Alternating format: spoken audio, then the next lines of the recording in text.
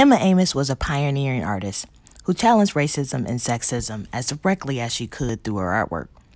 A well celebrated painter, textile artist, and printmaker, Amos challenged the seemingly automatic subconscious understandings that come to mind when we see certain imagery. So, in this video, I wanted to talk a little bit about my favorite Emma Amos painting, Measuring Measuring, using the analysis provided in one of my favorite books, Lisa Farrington's Creating Their Own Image, which features Measuring Measuring as its cover art. I had the privilege of working directly um, with this painting during my time at the Birmingham Museum of Art, as it resides in Birmingham's permanent collection. Born in Atlanta, Georgia, Amos was the first and only female member of the famed Spiral Artist Collective. She trained at the Central School of Art in London, received her master's from NYU, and eventually became the chair of the Department of Visual Arts at the Rutgers Mason Gross School of Art in New Brunswick. But the political climate of the 1980s, remember, as much as Reaganomics was totally out of control in the 80s, the 80s was also the height of the womanist and black feminist movement where women activists, particularly black women activists and writers, were taking a stance against black and white folk alike to fight for the visibility of the unique conditions of being both black and female in the United States. This, of course, encouraged Amos to pursue her own feminine interest, and she joined many organizations like the Heresies Collective, where she became a member of the editorial board, um, edited their journal Heresies.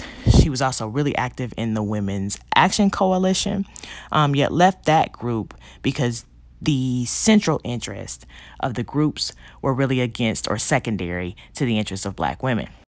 In Measuring Measuring, Amos uses vivid color and fervent brushstroke to express her thought processes regarding the visualization of the black female body in Western art. Trimmed in Western African kente cloth, the painting integrates laser transfer photographs and acrylic painting to question common understandings of race, beauty, gender, colonialism, and the privileges of cultural hegemony. On the left, the painting depicts a faceless figure dressed in white gloves and a black hat, which was common to minstrel actors. The apparition is displaying a picture of a voluptuous, nude bronze, seemingly appropriated from the Venus de Milo. The second and central figure is a young black woman wrapped in kente cloth at the waist. Her body is fashioned so that she looks like an extrapolation of the first figure. In this way, Amos is challenging us to rethink ideas of beauty through the black female body.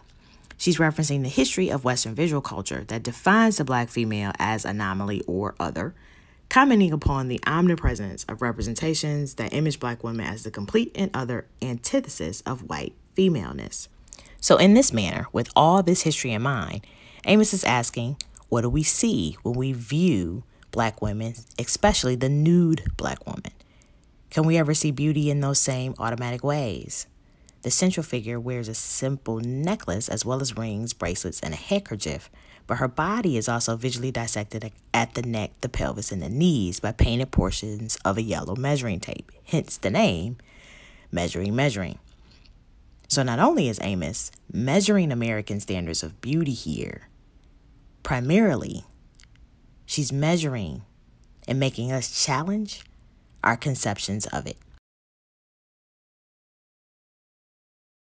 BIA documents, preserves, and promotes the contributions of the African American arts community. Thus, this content is made free of charge. To support our efforts, please visit buyblackart.com. Live with the art you love.